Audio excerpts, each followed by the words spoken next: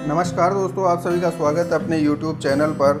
आज के इस वीडियो में अपन एक पैरालिसिस का केस डिस्कस करेंगे। ये बकरी का बच्चा जो अपने को दिखाई दे रहा है, इसके चारों पैरों में पैरालिसिस था।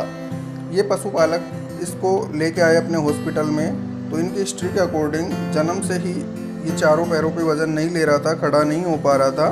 तो लगभग चार दिन से ये रेगुलर ला रहे हैं अपने हॉस्पिटल पर तो इसका ट्रीटमेंट किया गया। तो उससे इसके आगे वाले पैरों में थोड़ी जान आई है, परंतु पीछे वाले पैर अभी भी इसके वज़न नहीं ले पा रहे हैं। तो इस किड का ट्रीटमेंट अपन रेगुलर कर रहे हैं ताकि ये अच्छे से चल पाए, अच्छे से खड़ा हो पाए।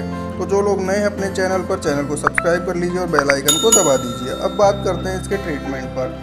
तो देखिए दोस्तों पैरालिसिस की जो कंडीशन होती है, वो नर्वाइन डिसऑर्डर है, न्यूरॉन्स की प्रॉब्लम, नर्व की प्रॉब्लम की वजह से ऐसा होता है। तो इसको ट्रीट करने के लिए अपने को सबसे पहले नर्वाइन टोनिक इसको देने पड़ेंगे।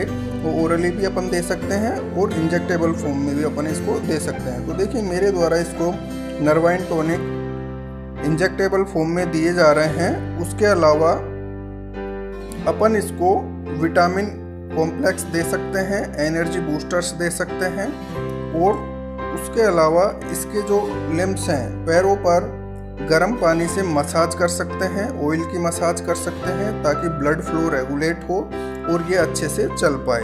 तो यहाँ पे देखिए, इसके अपन ने इंजेक्शन लगाया नर्वाइन टोनिक का, एक इंजेक्शन लगा देंगे अपन विटामिन कॉम्प्लेक्स का, और एक अपन इसके लगा देंगे पेन किलर का, ताकि अगर किसी प्रकार का कोई दर्द हो तो वो रिकवर हो जाए और ये चल पाए। तो ये पैरालिसिस का एक केस है, जो कि जन्म से पैरालाइज था ये बच्चा। देखिए यहाँ पे इसको।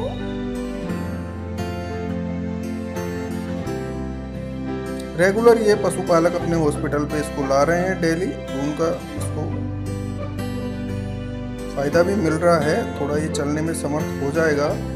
आगे वाले पैर इसके प्रॉपरली काम करने लग गए हैं, परंतु पीछे वाले पैरों से वज़न नहीं ले पा रहा है। देखिए इसके मैंने थोड़ा पेन किलर लगाया है ताकि अगर पेन की कंडीशन कुछ हो तो ये रिकवर कर जाए।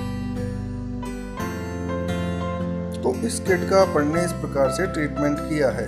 देखते हैं ये रिकवर हो पाता है या नहीं। अगले वीडियो में अपन ज़रूर देखेंगे डिस्कस करेंगे कितनी इसकी रिकवरी होती है।